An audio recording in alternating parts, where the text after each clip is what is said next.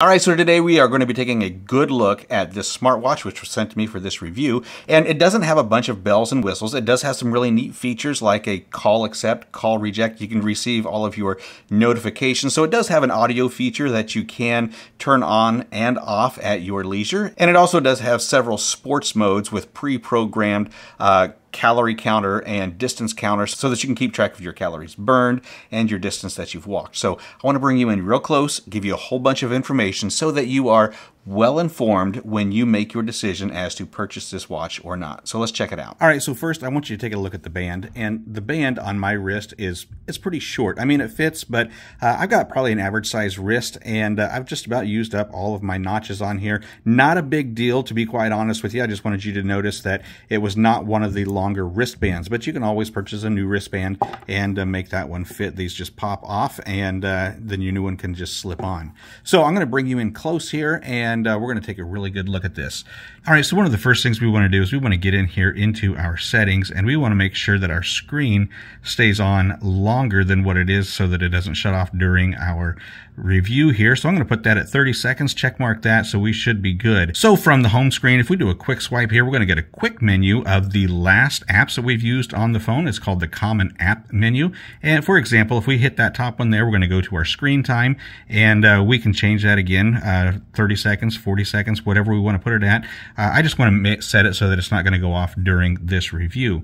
Uh, so we can do that once more time. You can see there's a quick menu of the last apps that we've used we swipe that back. And if we swipe from the top to the bottom, we're going to get all of our menus here for our uh, brightness. We can dim that down to save our battery, or we can put it all the way up. And the brighter you've got it, the more battery it's going to use, of course. Then you got your Bluetooth and your thumbs up and your timers.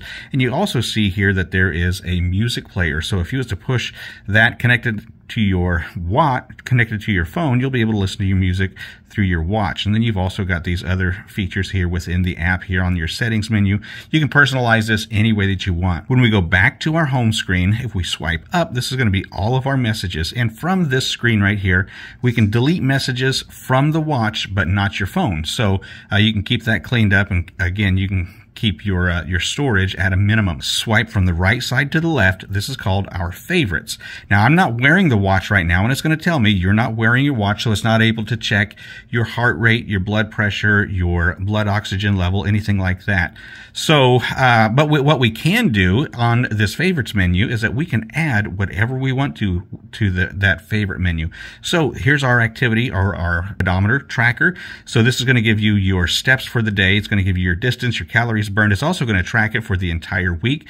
Now, I've only had it on today, but you can see that I've taken about 4,000 steps today uh, since I've had the watch on. So uh, really nice to have that pedometer. Everybody likes the pedometer and it is going to connect to your uh, to the app on your phone and we're going to take a look at that here in just a minute but I do want to show you once again that you can add anything to that favorite menu that you like there's we're going to put the weather up there you can see that today is a scorcher you can see that it does have a three-day forecast on there so those are just your basic basic features on the watch. So we're also going to go ahead and take a look at the app. Okay, so the first thing that you're going to want to do is download the RD Fit app and uh, when you open up the app that's what it, this is what it looks like here.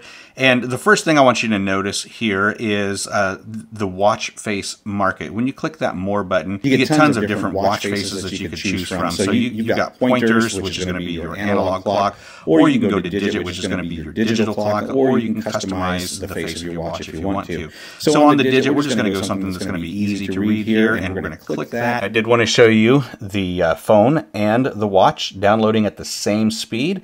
And then once that is complete, it's going to go ahead and install here and we'll, we'll watch that work. It's only going to take a second to do it. Just like that. That's your new watch face.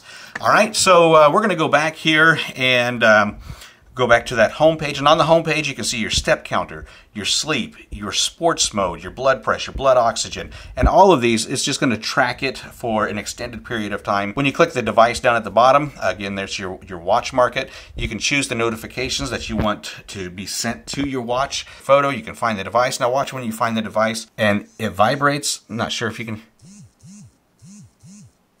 now you can turn audio on and have it make a noise so that you can find it You can personalize this by putting in all of your information, your name, your height, your weight, the step goal that you want to have, and then it's going to notify you when you reach that step goal. Again, it's a really nice little watch here. Uh, it, it's not too big and bulky. Uh, it's going to be great for either a male or female. A lot of nice little features on there. Again, completely customizable to your preferences, to your liking. You set it up how you want, change it whenever you want. It's a great little watch.